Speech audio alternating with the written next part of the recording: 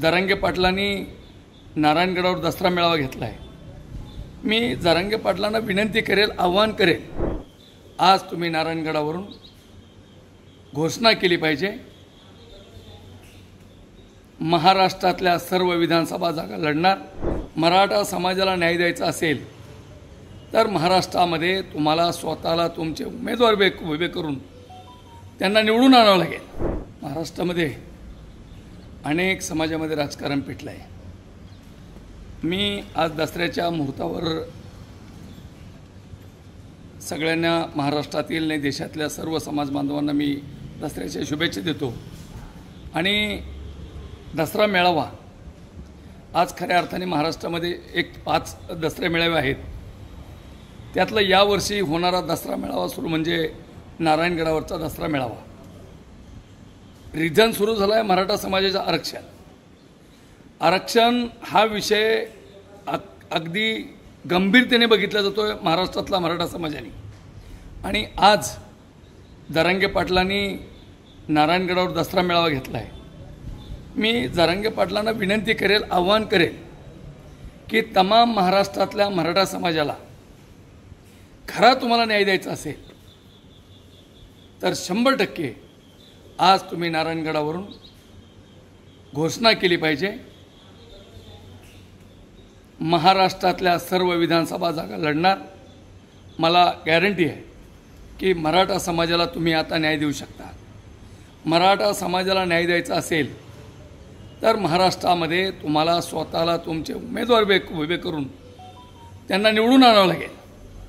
आणि निवडून आणल्याशिवाय तुमची स्वतःची ताकद जरंगे पाटलाची ताकद या महाराष्ट्रातल्या जनतेला दिसणार नाही सरकारला दिसणार नाही. परंतु हे होत असताना आज महाराष्ट्रामध्ये मराठा समाज तुमच्या पाठीमागं जेवढा आहे मला वाटतं महाराष्ट्रातल्या कोणत्याही मराठा समाजाच्या पाठीमागं एवढा मराठा समाज नाही.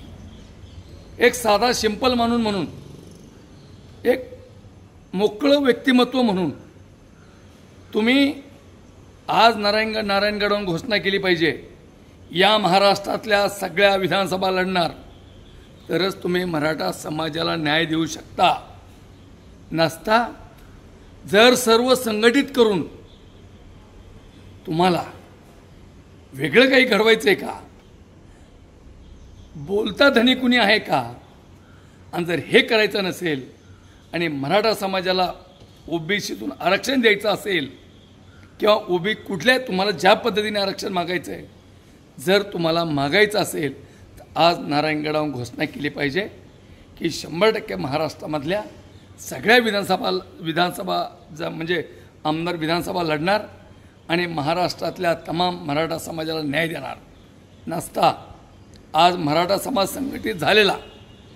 जर कुणाच्या दावणीला बांधत असाल अनेक वर्ष आदरणीय शरद पवार साहेब राज्याचे मुख्यमंत्री होते. अनेक वर्ष. त्यावेळी मराठा समाजाला आरक्षण देऊ शकले असते. आणि जर तुम्ही विधानसभेचे उमेदवार उभे नाही केले आणि कुणाच्या तरी कुणाच्या तरी सोबत जाण्याचा प्रयत्न केला मला मराठा बांधवांना विनंती आहे माझी त्यांना सुद्धा हात जोडून विनंती आहे. गेली अनेक वर्ष शरद पवार मुख्यमंत्री होते. अनेक वर्ष. मग त्यांनाही आरक्षण देता आलं असतं. आणि आजही मराठा समाज सगळा एक संघटित करून जर तुम्हाला तिकडंच घेऊन जायचं असेल तर आरक्षण मिळेल कसे? मराठा गोरगरीब मराठ्याला आरक्षण मिळणार नाही.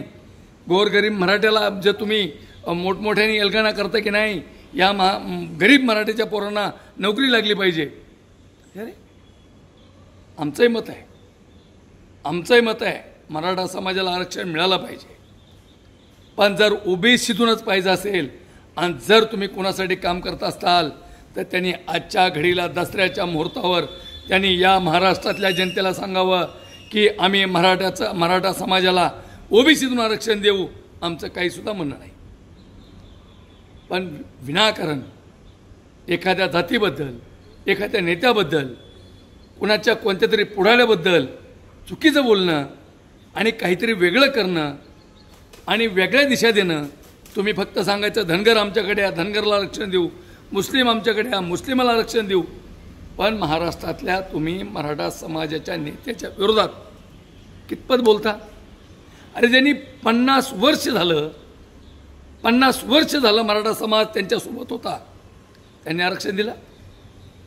त्यामुळं माझी पाटलाला विनंती आहे की आज नारायणगडावरून मोठ्या मनाने स्वच्छ भावनेने जर खऱ्या अर्थाने तुम्हाला मराठा समाजाला आरक्षण द्यायचं असेल आज गडावरून तुम्ही आव्हान केलं पाहिजे की महाराष्ट्रातल्या सगळ्या विधानसभा लग विधानसभा लढणार आणि मराठा समाजाच्या आरक्षणाचा प्रश्न सोडवणार हा आज नारायणगडाच्या सभेतून तुम्ही बोलावं माझी एवढीच तुम्हाला विनंती आहे.